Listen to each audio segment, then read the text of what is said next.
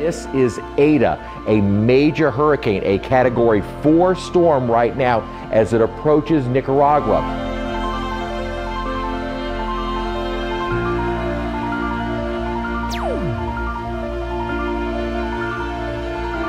Hurricane Eta plowed into Nicaragua on Tuesday, one of the most powerful storms to hit Central America in years. The Category 4 storm battered homes, pried rooftops away, knocked down trees and power lines, and caused devastating flooding in the region.